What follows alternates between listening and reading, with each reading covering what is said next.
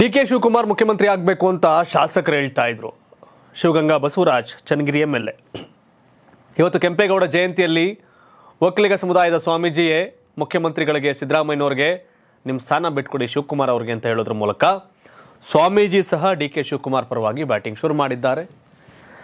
ಹೌದು, ಇವತ್ತು ಕೆಂಪೇಗೌಡ ಜಯಂತಿ ಕಾರ್ಯಕ್ರಮ ನಡೀತಾ ಇತ್ತು. ಈ ಕಾರ್ಯಕ್ರಮದಲ್ಲಿ ಮುಖ್ಯಮಂತ್ರಿ ಸಿದ್ದರಾಮಯ್ಯವರು ಭಾಗಿಯಾಗಿದ್ದರು ಡಿ ಕೆ ಶಿವಕುಮಾರ್ ಭಾಗಿಯಾಗಿದ್ದರು ಈ ವೇಳೆ ವಿಶ್ವ ಒಕ್ಕಲಿಗ ಸಂಸ್ಥಾನ ಮಹಾಮಠದ ಸಂಸ್ಥಾನ ಮಹಾಮಠದ ಸ್ವಾಮೀಜಿಗಳು, ಚಂದ್ರಶೇಖರನಾಥ ಸ್ವಾಮಿಗಳು ನೇರವಾಗಿ ಶಿವಕುಮಾರ್ ಅವ್ರನ್ನ ಸಿಎಂ ಮಾಡಿ ಅಂತ ಸಿದ್ದರಾಮಯ್ಯ ಬಳಿ ಬಹಿರಂಗವಾಗಿ ಮನವಿ ಮಾಡಿದರು.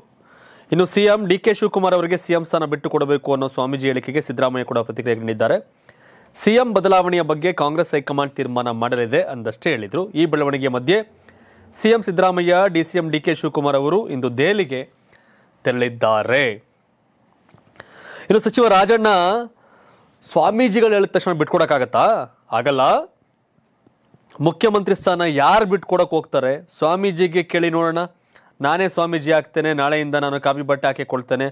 ಅವರು ತಮ್ಮ ಸ್ಥಾನ ಬಿಟ್ಟು ಕೊಡ್ತಾರಾ ಅಂತ ಒಕ್ಕಲಿಗ ಸಮುದಾಯದ ಸಂಸ್ಥಾನ ಮಟ್ಟದ ಸ್ವಾಮೀಜಿಗೆ ಸಚಿವ ರಾಜಣ್ಣ ಸವಾಲ್ ಬೇರೆ ಹಾಕಿದ್ರು.